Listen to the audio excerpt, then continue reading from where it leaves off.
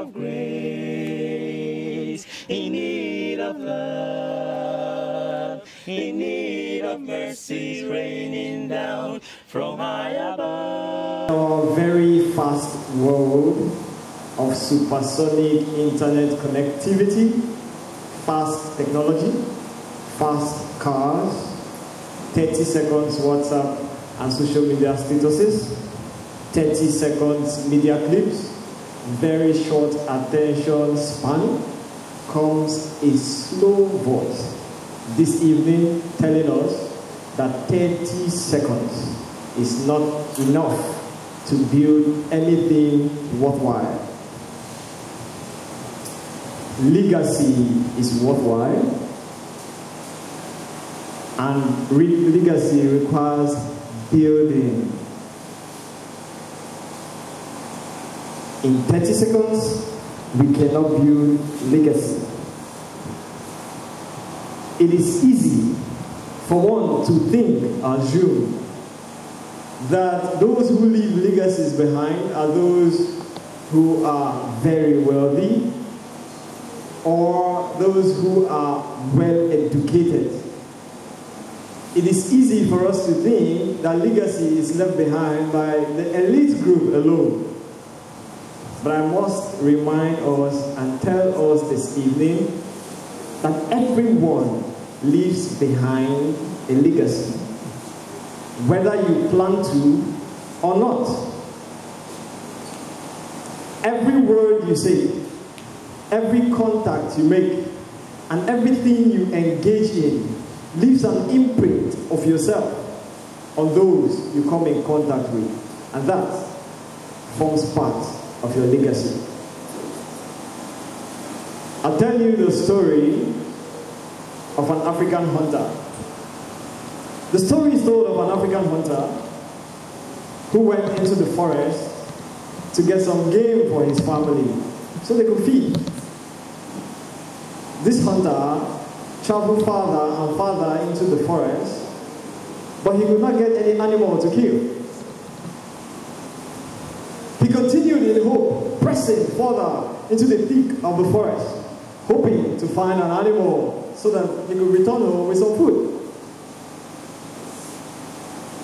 As time progressed, night drew closer, yet he had no game. He had exhausted his supply of food and water, and he hoped that perhaps if he could press a little further, he could find some animal. He proceeded. Hope to get animal became thinner and thinner by the second. At the point he decided, when he came to his sad realization that he wasn't going to get any game that day, he thought that perhaps he could make his way out of the forest. But he had gone too far into the forest, and his strength was failing him. He knew that if he made an attempt to return, he would probably die before he got out of the forest. So he decided that the game was over. The best he could do was to look for some cave to lie his weak body and perhaps die. So that no animal will find him to eat and devour. Perhaps he could die peacefully. This hunter started to look for a cave where he could just lay his tired body and pass on to the great beyond. While he searched for a cave, staggering in the thick forest, behold, he came to an open space, sort of a field, and he was wondering why this kind of space right in the thick forest. And when he looked up, a building with an inscription on it Food is ready. All you eat is free. It has been paid by your ancestors. He could not believe his eyes. Was he already dead and seeing visions of heaven? He thought to himself. But he hit himself and shook himself a little, and he was alive. He made his way right into the building. True to what he had said, there was a lot of food in there. And people were having a really nice time. Attended to him immediately. They gave him two jugs of milk and he took it down. Immediately he regained some strength. Could he be dreaming? No, it was real. He just had quality milk. And they asked him, What would you want, sir? And he said, What do you have? Anything you have. But he was still worried that he had no money on him. So he asked them again, Is it true that anything I eat in here is free? And they affirmed, Yes, it is free. I said, If that is the case, get me good amala with some nice meat in a native soup. And it was brought him just the way he ordered it. He ate to his fear and did not know where he slept off.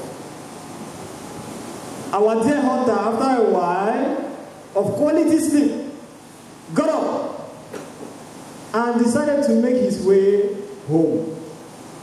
So he asked the attendants who were waiting by him, Can I go home with some food, at least to help me through the long journey back home? And he said, Oh, you may have whatever you want. And they filled his can with some water, some wine, and meat in his bag for the journey. Our dear hunter stood up, satisfied, as he made his way to the door to leave this very wonderful building. He heard a voice that filled the environment saying, Hold on, sir, you have not paid. And our hunter was startled. He asked the voice, I thought you said that anything I eat here is free. The voice said, Yes, it is free. You have not been, you have not paid. He said, So why am I required to pay now? The voice responded, Everything you ate has been paid by your ancestors. But you have to pay so that the children coming after you will also have a free meal. Beloved, whatever you have today, whatever you enjoy today, is because someone left it for you. And you are responsible to the coming generation to leave behind some legacy too. Our parents have done a lot for us. Guardians have done a lot for us. Older ministers have done a lot for the church. The Church of Christ in Chuba community is what it is because some others have passed through this path and they left behind a legacy. What legacy would you leave for the coming generation after us? Remember, everyone leaves a legacy, and everything we say and do leaves imprints of our lives on those around us. Every generation has a price to pay so that the generation coming after would live a better and more fulfilled life.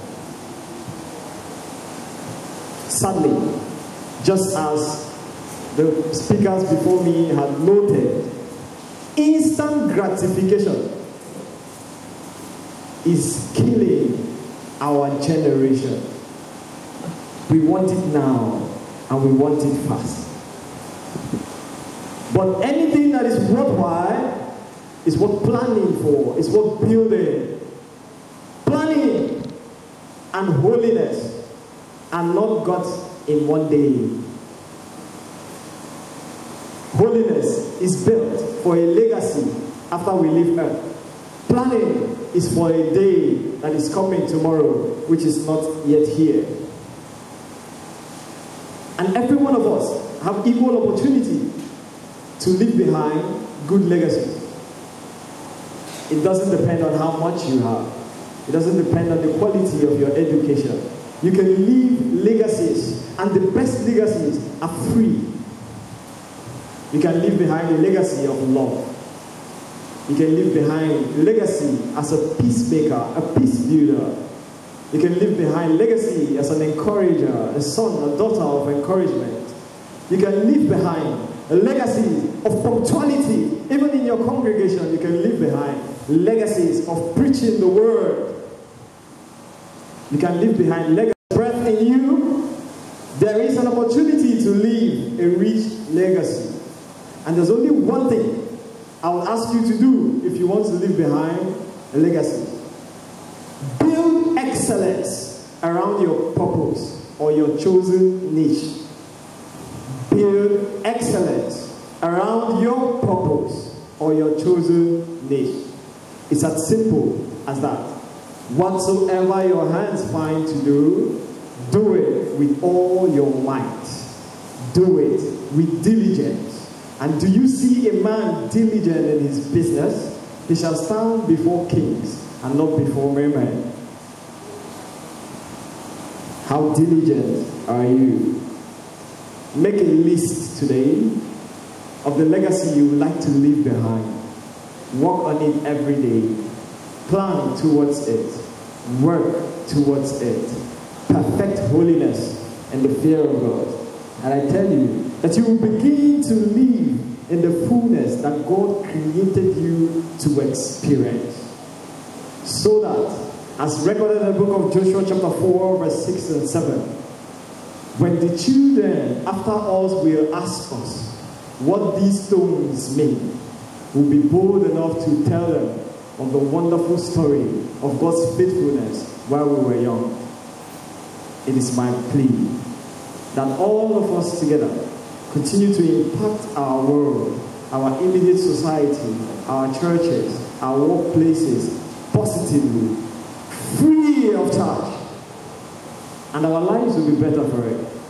If just this number here decides to take what we have studied today, put them into practice, I'm sure our world, our churches will be a better place to live. May God help us as we go home with this to put into practice and help through His Holy Spirit that we might understand better than every word that has been said here, giving us the strength to will and to do in Jesus' precious name. Welcome to this edition of our program.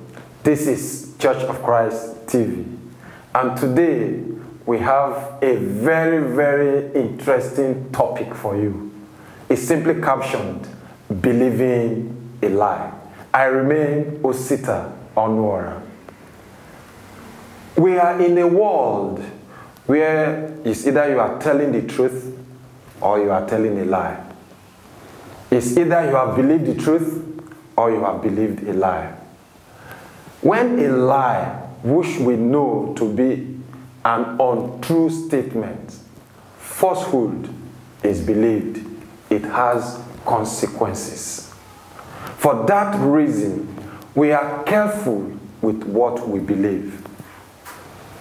It has been said in certain quarters that Nigeria is in the state she is now because we believed a lie.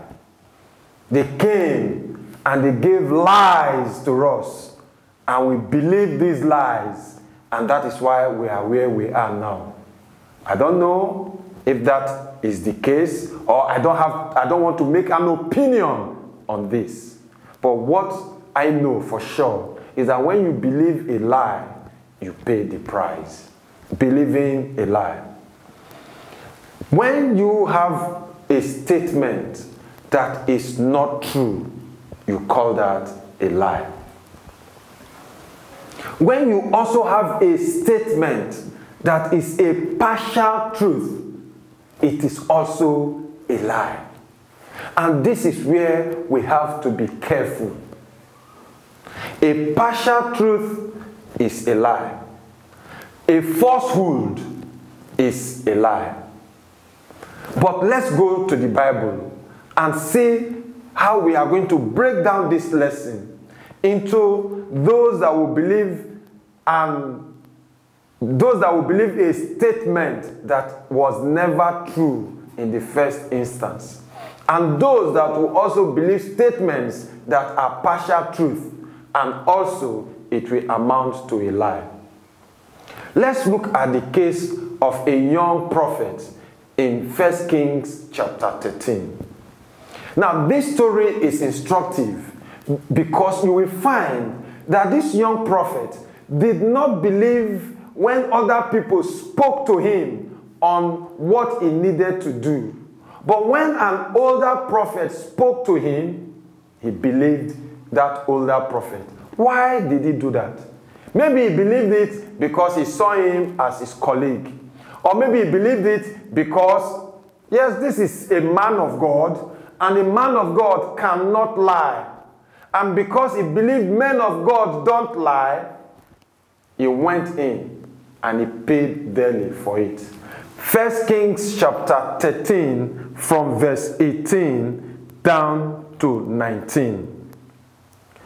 He said to him, I too am a prophet as you are, and an angel spoke to me by the word of the Lord, saying, Bring him back with you to your house, that he may eat bread and drink water. Now, the Bible now emphasized in bracket here, he was lying to him. In verse 19, we are told, So he went back with him and ate bread in his house and drank water. You see that this older prophet, this you see that this old prophet lied to this young man. And the young man believed this lie from this old prophet. Now, why am I feeling so bad for this young man in this story? He was expressly told by God go into that town, speak to the altar, prophesy against the altar. Do not eat nor drink in that town, and do not go back the route which you came from while on this assignment. The instruction of God was clear without ambiguities. And this young man went there, prophesied against the altar. In fact, while he was there, according to that First Kings chapter 13, the king was there sacrificing on the altar. And as the young prophet prophesied against this altar, the king stretched forth his hand, asking that the, the prophet should be seized. And we are told that as the king stretched forth his hand, the hand was stiff. It was then the king realized that there was a higher power at play. And he besought the young prophet to appeal to God on his behalf so that he would get well. Of course, the young prophet did that. The young prophet, that is, told the king that I cannot go with you to your place because the Almighty has told me neither to eat nor drink in this town, and I should not go back the way from which I came. You see, the entertainment, the grandeur of being hosted by a king, this young man rejected it because he was afraid of the Almighty. He wanted to obey the voice of the Almighty and he left without going to the king's house nor eat from the king's sumptuous delicacies. But while living, this old prophet came to him and lied to him. He told a religious lie. And this young man, believing that lie, went back to the town. The young man, of course, did not go back to the town because of how sumptuous the delicacies he was going to get from the prophet was. No, because if that was what was his intention, he would have fallen for that from the king. He rejected the king's offer, but accepted that from the old prophet.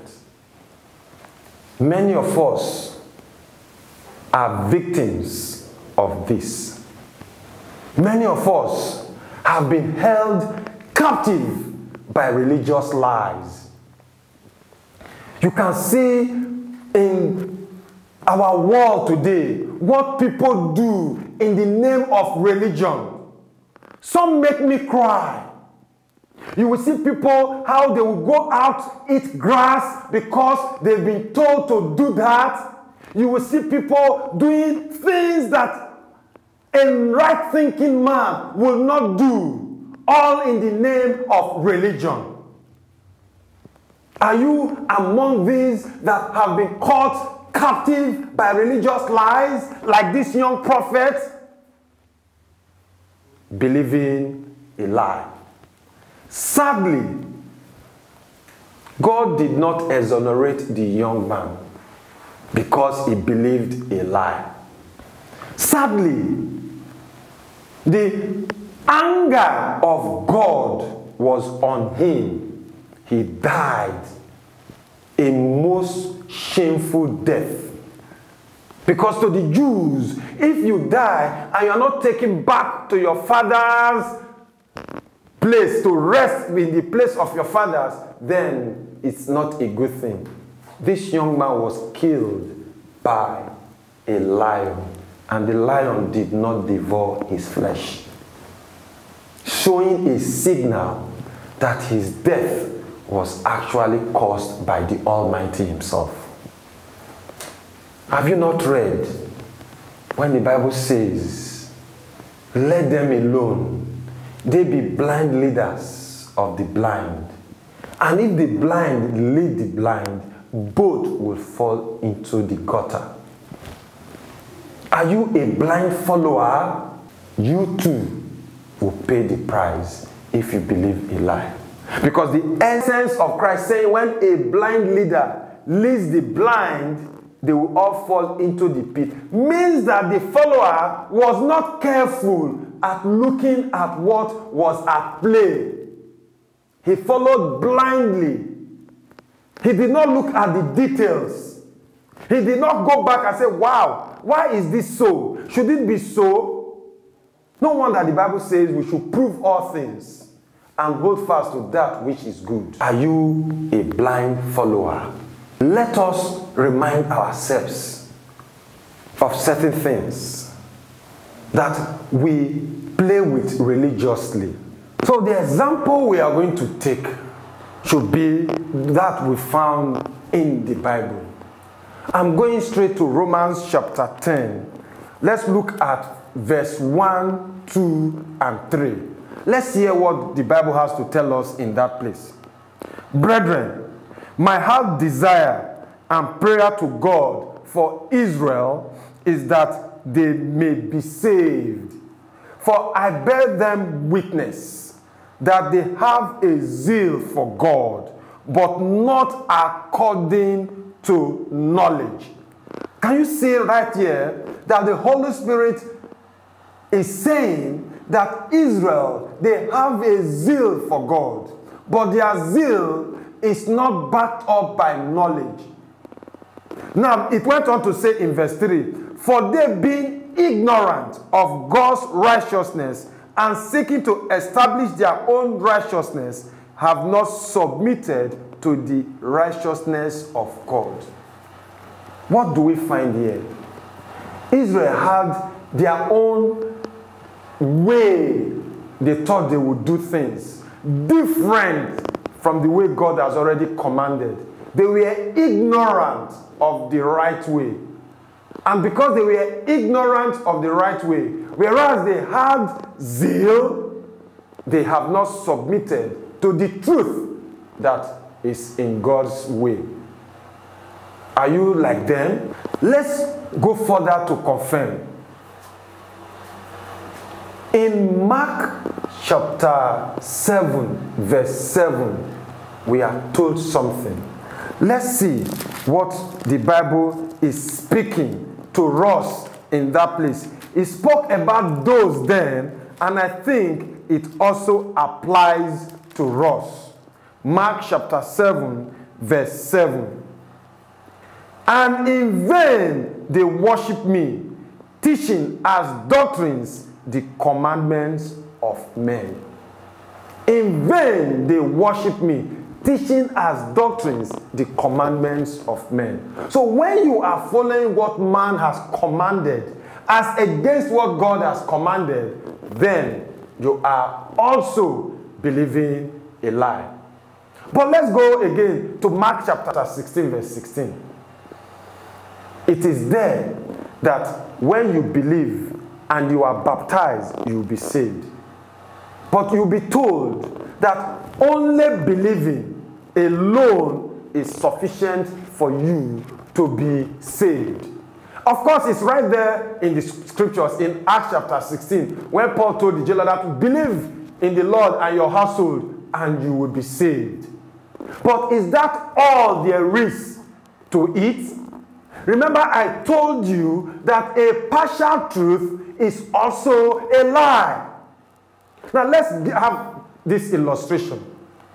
Peradventure, as blind men, you went and touched an elephant. You know how an elephant is. Those that will touch the trunk of an elephant, how would they describe the elephant? Those that will touch the tail of the elephant, how would they describe the elephant? If the one that touched the tail of the elephant argues that the elephant is like a rope, is it correct? Is the elephant like a rope? Of course not. But he touched the tail. The tail is part of the elephant, but that is not all there is to an elephant. And that is how some of us have believed a partial truth, which ultimately is a lie. Pharaoh fell victim to this in Genesis chapter 12. When Abraham, seeing how beautiful the wife was, told Pharaoh that, in fact, he, he told the wife first, they planned, they schemed that, look, when you get there, tell them that you are my sister.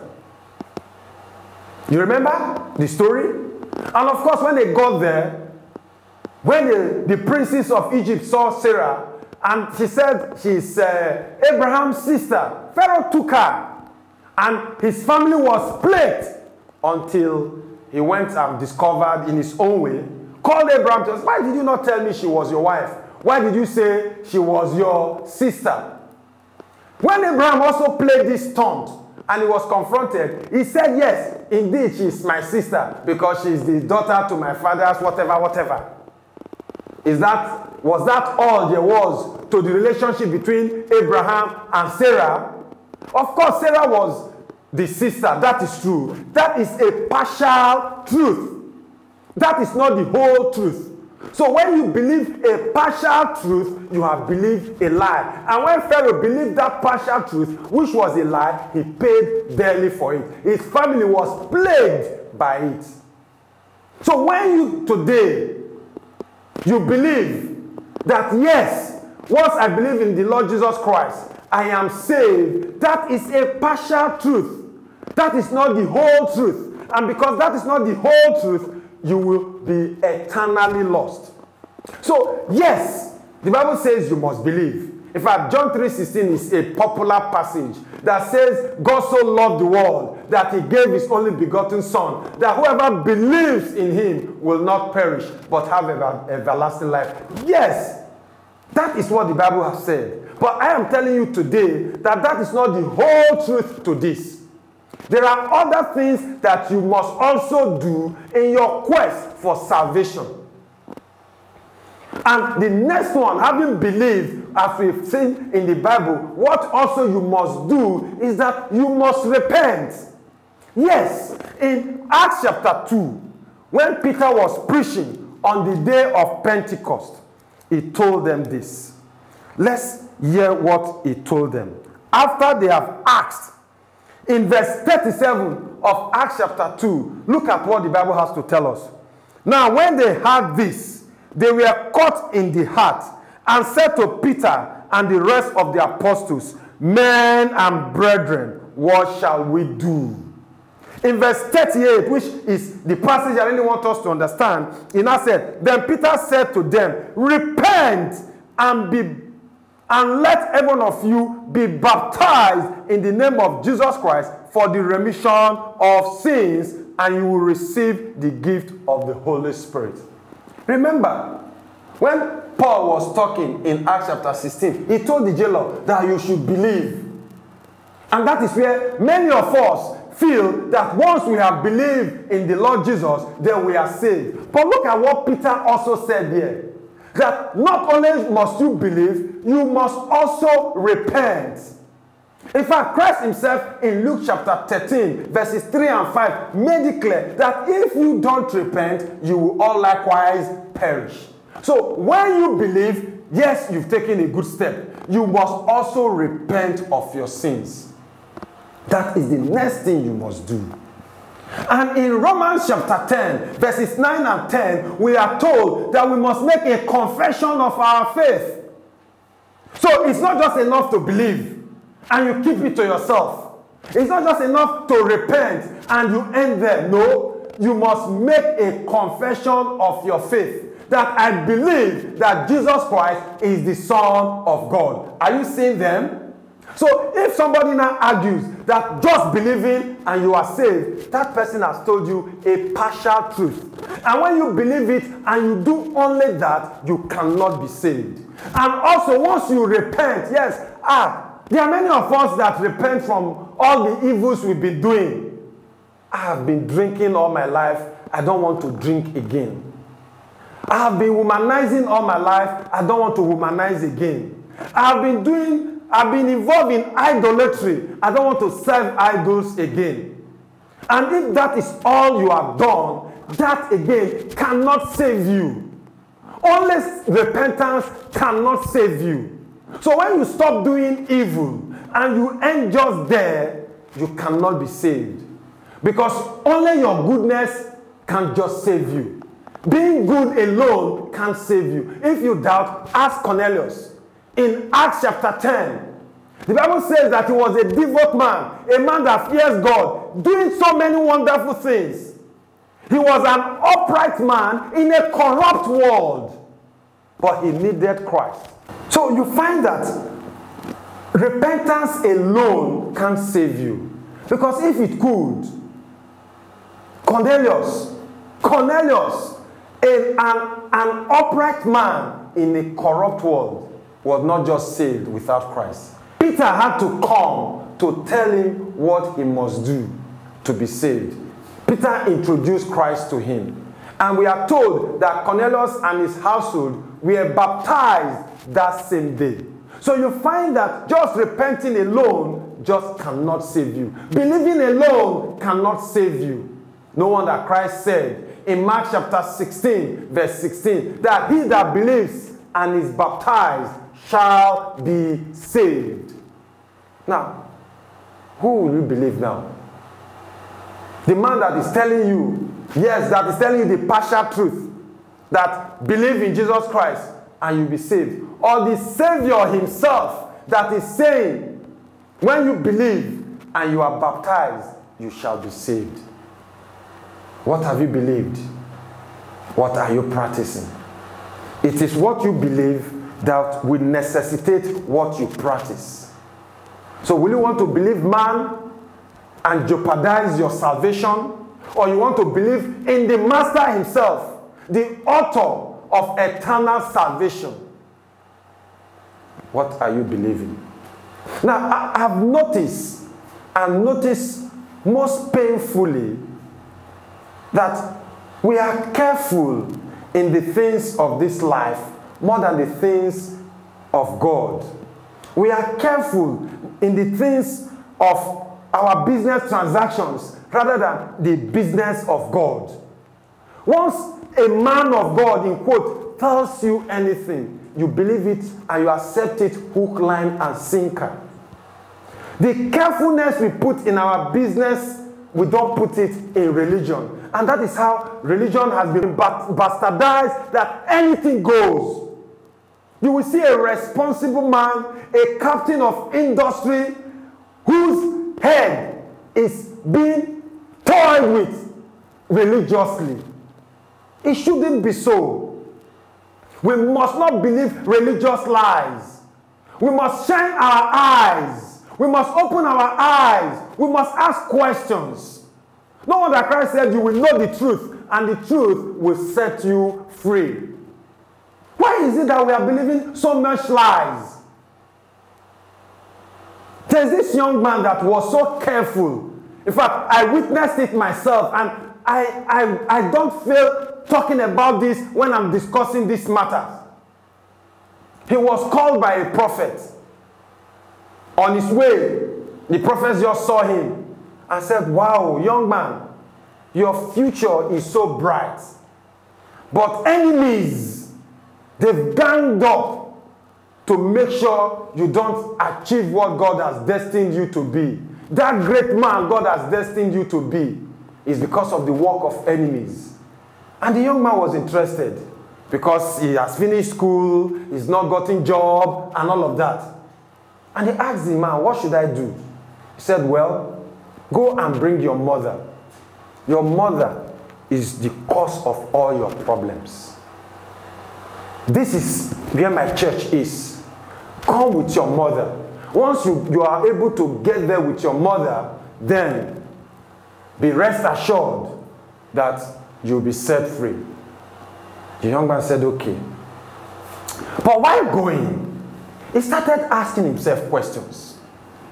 My mother, the lady that suffered all these years to train me to, through school, the lady that will do everything beyond her powers to ensure that I have the best of everything. She's the same one that is bewitching me.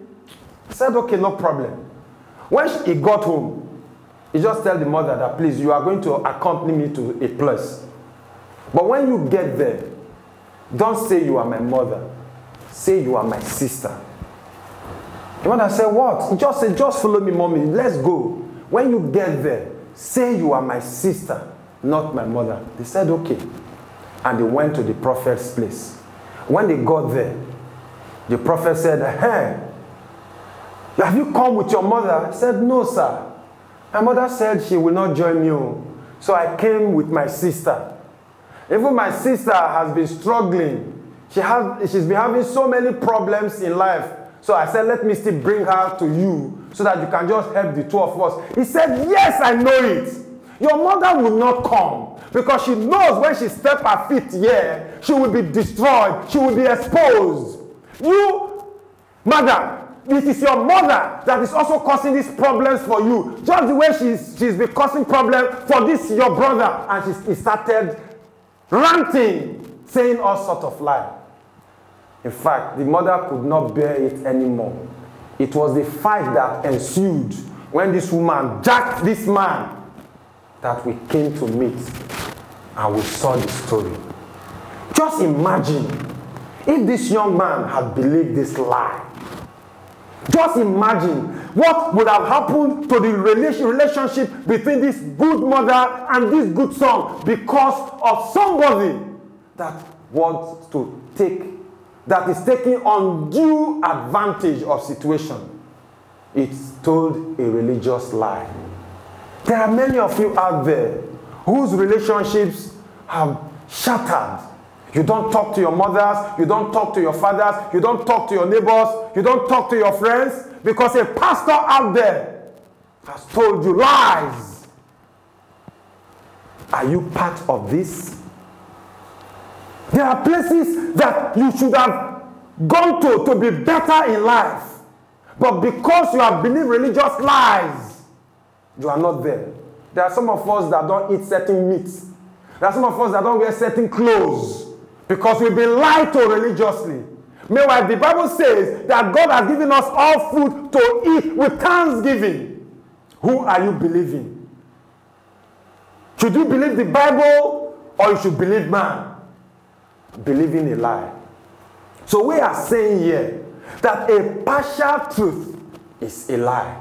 So if you've been told that, yes, just believe in Jesus Christ and say the sinner's prayer, then you are saved, I am begging you, that is not the truth.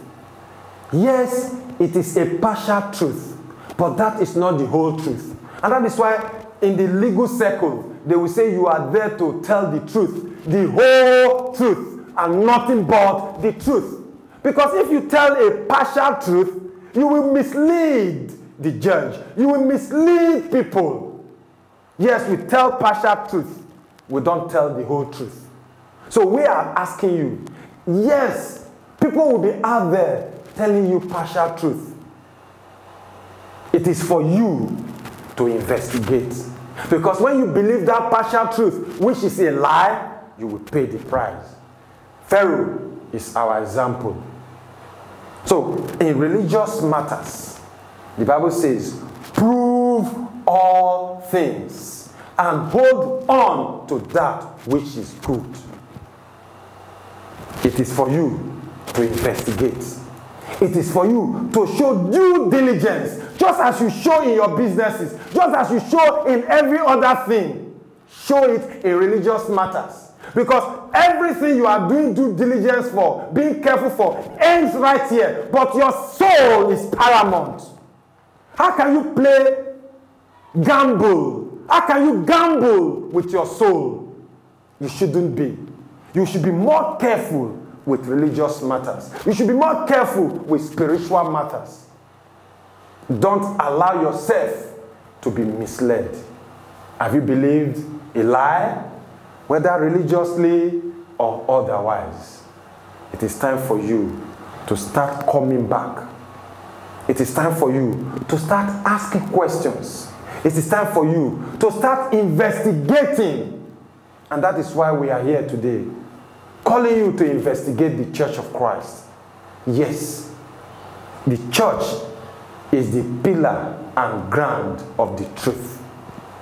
If you must worship God and you worship Him acceptably, then you must start investigating the church of Christ.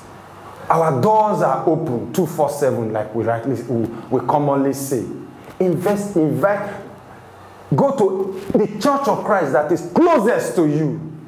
Ask questions, and you'll be told what you must do in order for you to be saved. Until we meet again next time, I ask that the grace of God should speak for you always and help you to be able to comprehend and accept the message that God wants you to accept and be saved in Jesus' name. Amen. Hello, welcome to COC TV. My name is Gentle Wamana.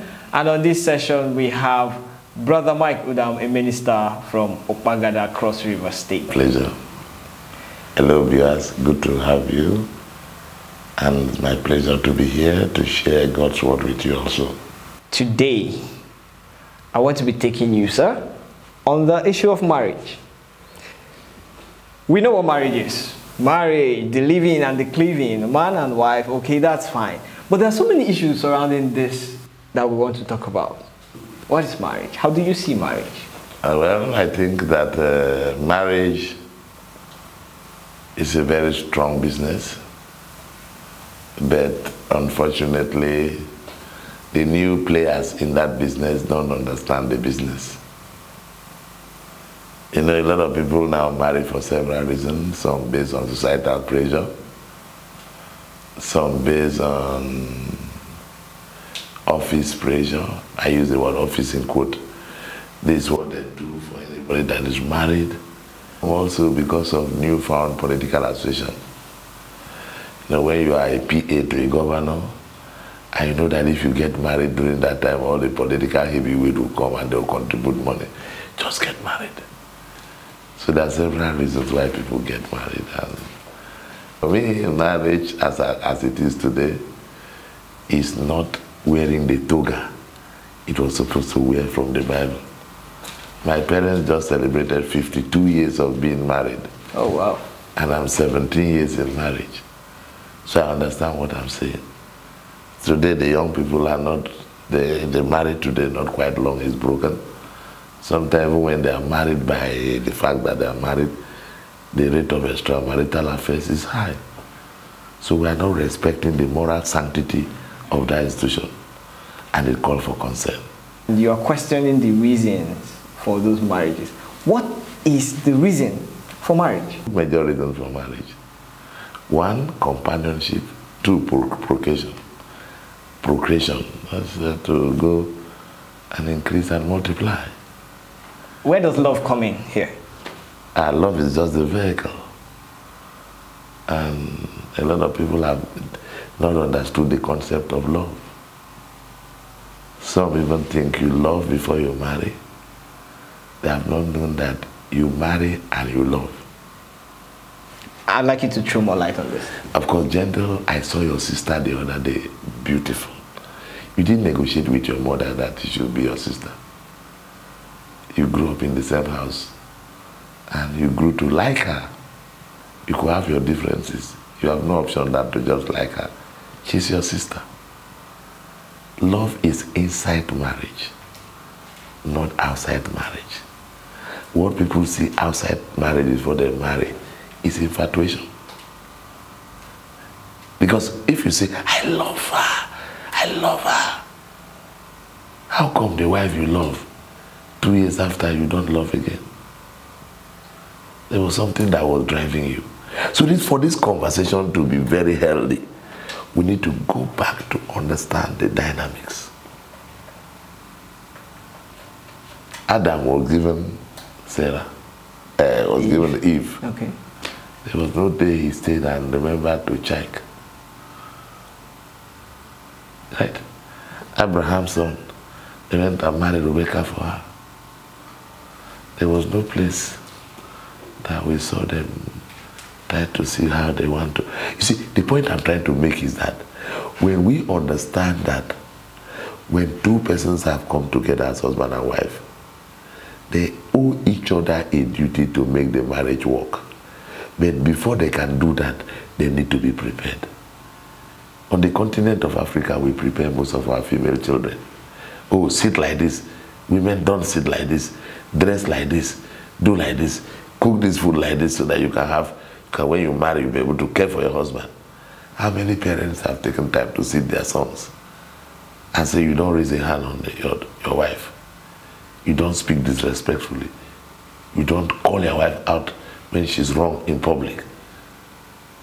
Nobody. The men are not prepared.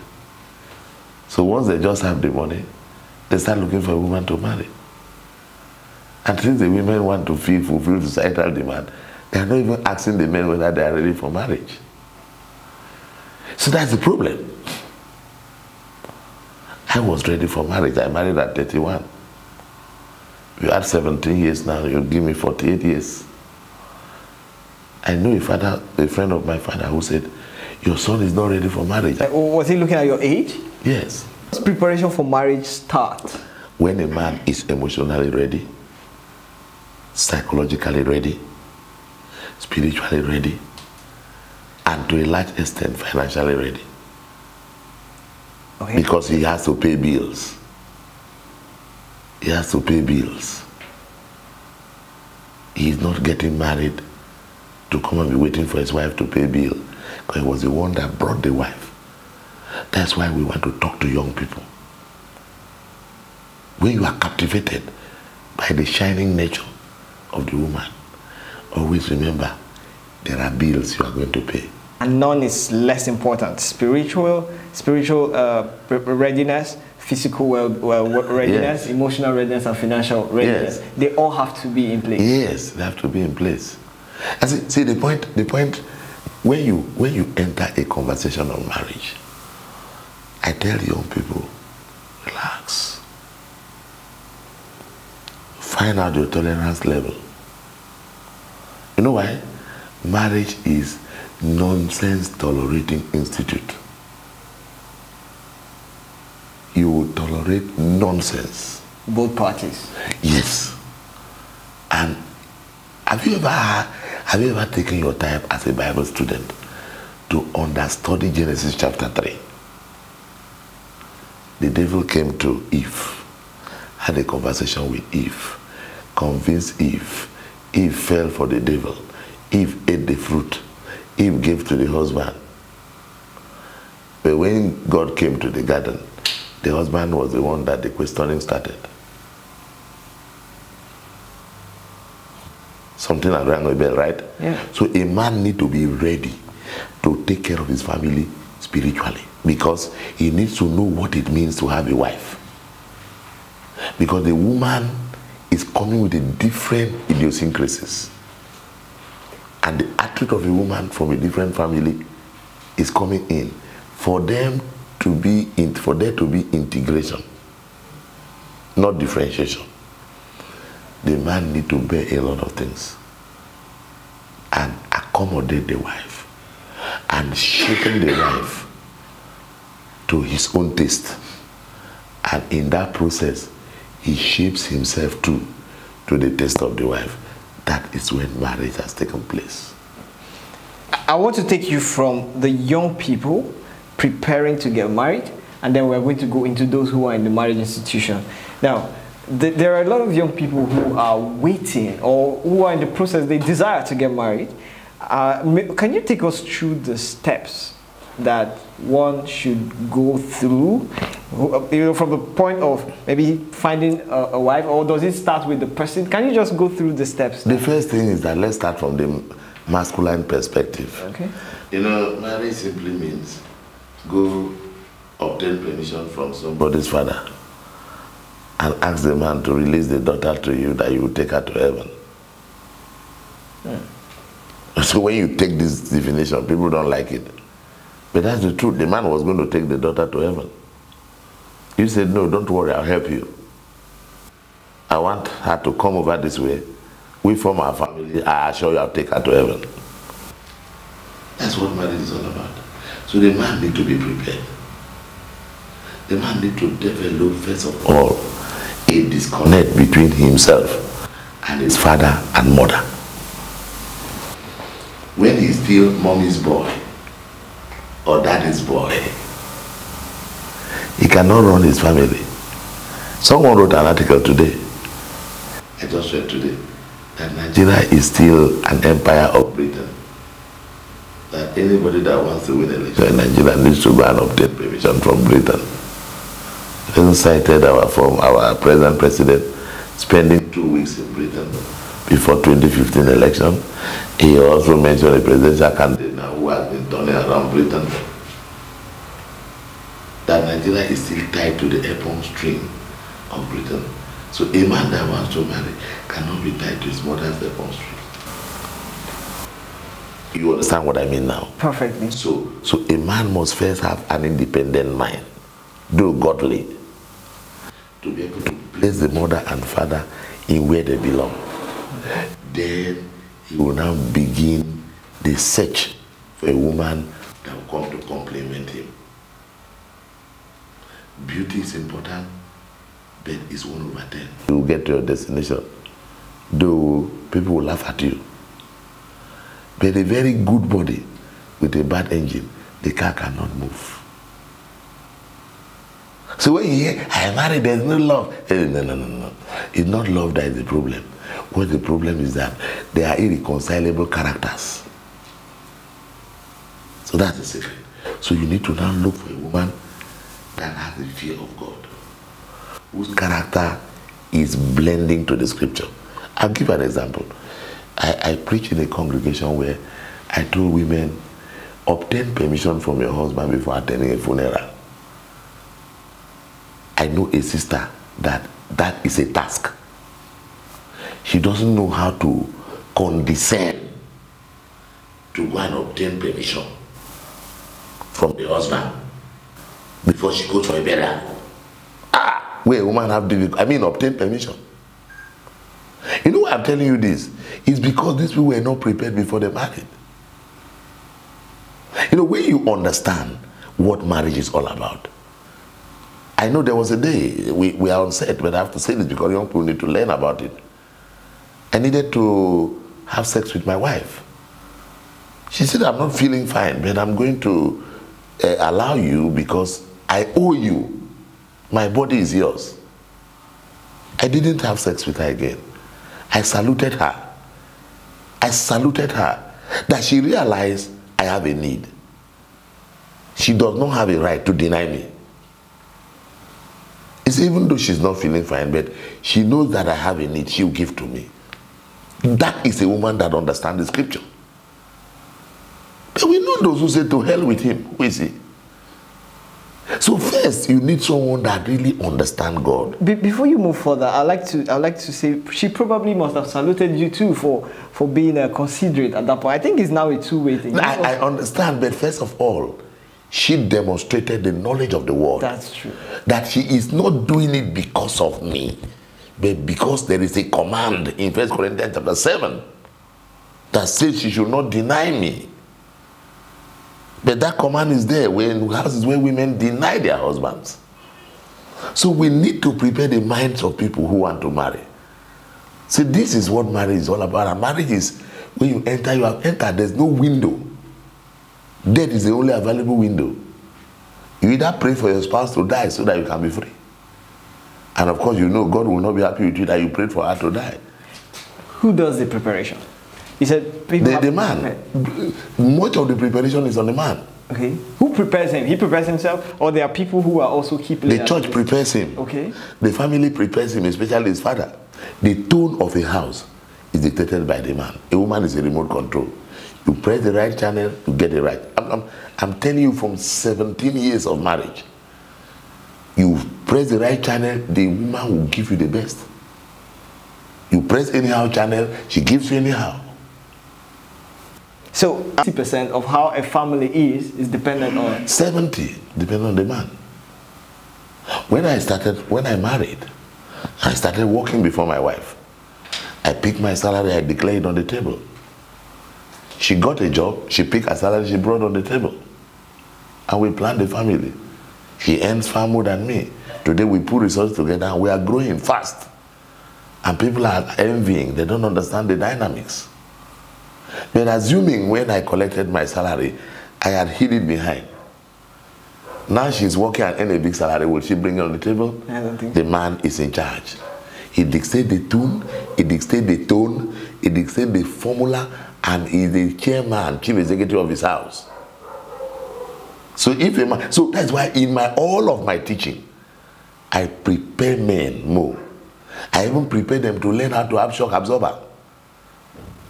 Because the woman, no matter how knowledgeable in the word of God she is, they are still women. First Peter 3 7 says, dwell with them with understanding. So that your prayers will not be hindered. So many men, including preachers, will go to hell for that passage. Because if you don't dwell with them, that's the daughter of a king. The king who made her know her. Say, dwell, that is manage them. Manage them, you go better. So if you do them anyhow, she will do you anyhow, and your house will scatter. So I want to take you. That's not meaning to say the female should not prepare for marriage. That, that's understood. I, I want to take you on a, on, on, on a post. I cannot remember exactly if it was on a post, but I know either on a post or one of your seminars where you, you, you took a position that a man who's, who's getting prepared for marriage should, you, you took a position about when the parents should be informed, should be brought into the picture. And it wasn't a very popular opinion Yes. at, that, at the time. Can you, do you still hold that position? What is that position? When do parents come into the picture? The parents don't come in immediately Okay. for the man. The parents don't come in, but the parents come in immediately for the woman. So let me turn the table the other way. If you're a young woman and you are about to get married, a young man approach you, the first person to tell is your parents. Ah, Mr. John is coming after me, I mean, and I'm also interested. I've asked him to come and discuss with you people. You tell the man to come and discuss. If he's very serious, he will come. If he's not serious, he will get angry. And some people take two years to become serious. Eh, well, that is that is because they are the woman. The woman. Let me tell you, if a man and a woman relates, and the relationship ends, the woman feels the pain if the man have exploited her. So who loses? Is the one that loses that needs a receipt for the property that is about to be bought. If you are buying a land and I'm selling you a land, whether if you receipt or not, it's you that should be demanding receipt for the payment made. The woman knows that he will lose if the man taps and run away. So he does traffic control. Thank you. Welcome, Mr. Gentle. Please see my father to obtain permission before you touch me. Is that too hard? No. That those are the skills we need to prepare. But you see, young women now give in and use sex as a bait. And unfortunately, not helping us. I am speaking this inside the church. And I know what I'm saying.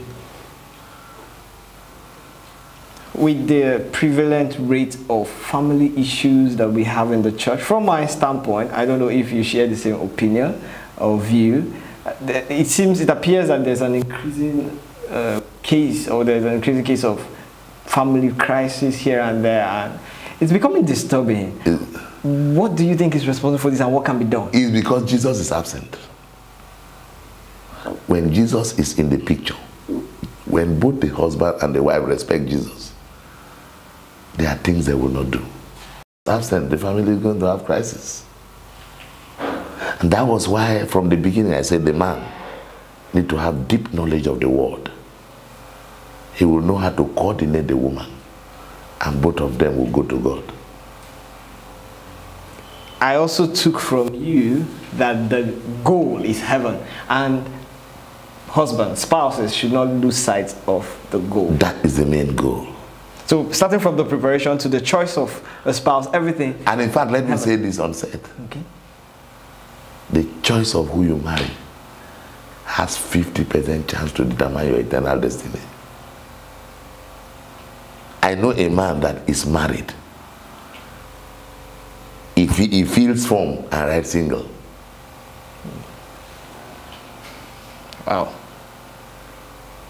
he says he's married so that the world can see he know he's single. He's not, he has not yet married. Who is that woman? He says the wife, by the world definition. That is the man that married and we attended the marriage. What he's seeing is not what he expected. He's disappointed. He sees all women as devil. So each time we meet, I tell him the problem is with you. When you change your strategy, that woman will change. I was going to ask you because when the issues become so pressing, we hear Christian leaders also make comments like they say, if not that the Bible does not permit divorce, we would have said, please part ways. Do you think there is a marriage problem that is that has no solution? It's irredeemable. Is there anything? Yes, there are, and there's room for separation, but the man and the woman will not do anything extra until one of them dies. It's called separation, you separate. But you will not look for another woman, and she will not look for a man. What are those reasons? When, when you have irreconcilable differences, Okay. or let me give you an example. When I was talking about a man being prepared for marriage, you did not ask me plenty questions. Are you aware that a man need to declare his asset and a liability to a woman? Are you aware that the woman need to declare her liability to a man or her asset? Guess why this man is angry? The man got married. They have difficulty producing children after four years of marriage. From the grapevine, he realized that the little child that living with them, that was thought to be the sister's, the wife's sister's child, is actually the child of the wife. Oh.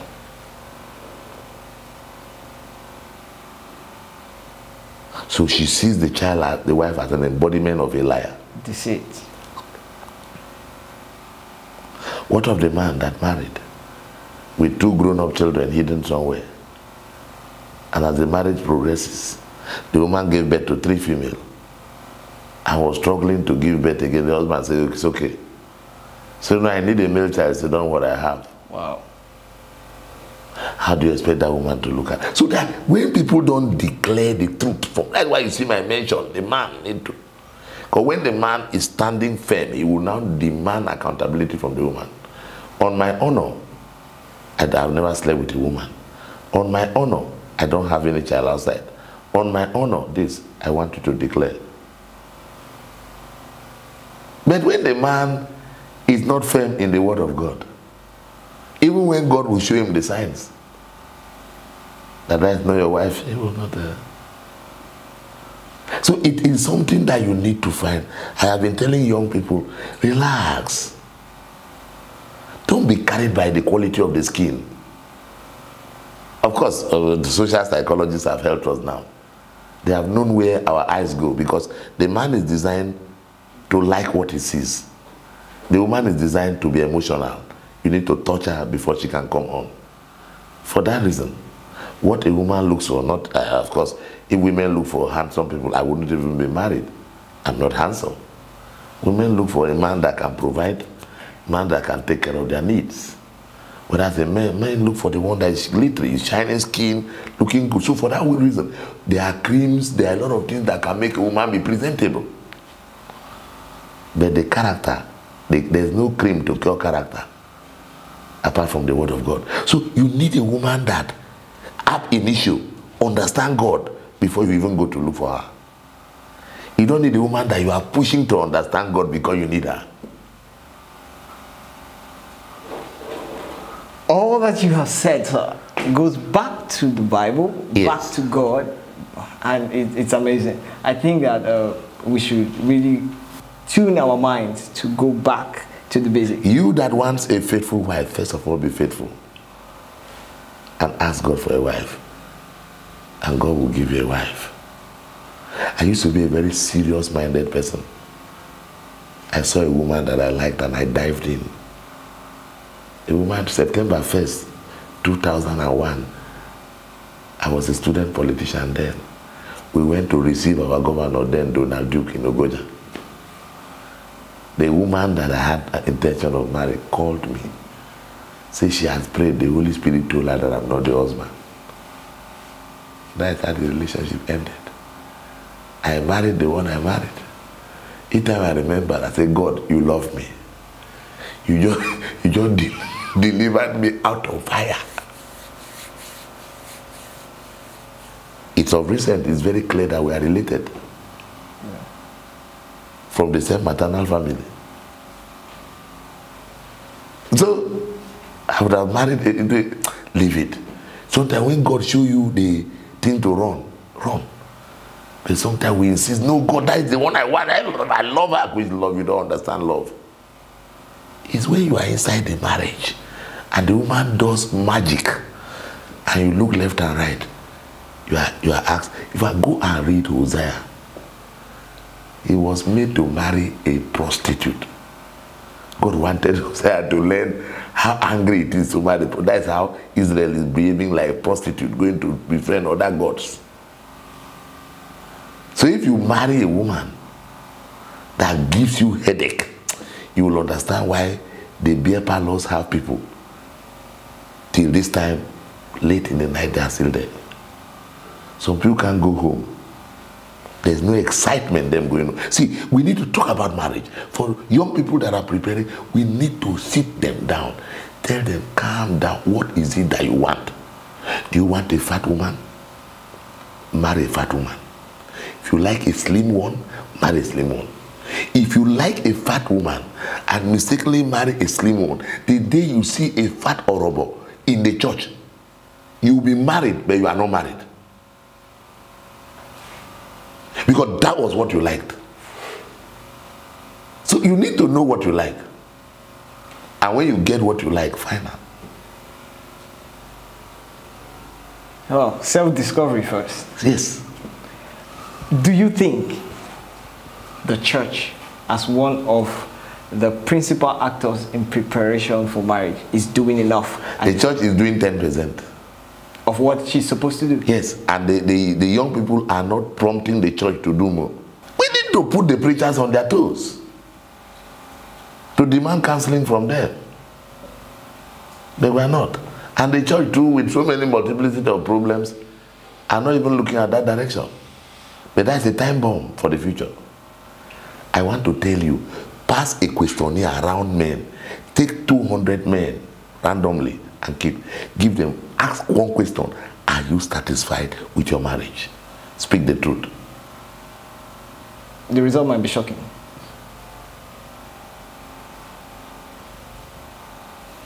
I don't think we can exhaust this discussion in one sitting. Yeah. We hope to have you again, Brother Mike, It will be my pleasure. to talk about this. It's been an exciting conversation on marriage with Brother Mike Udam. He is a minister serving at the Upagada community in Cross River State, Nigeria, and he's been with us on COC TV. My name is Gentle Wamana. Thank you for your time. Welcome to COC TV, where we have Bible perspective on issues. My name is Gentle Wamana, and today in the studio we have Brother Charles Ni Odoi. He is the preacher of Church of Christ Odorkor Accra, Ghana. Brother Charles is a missionary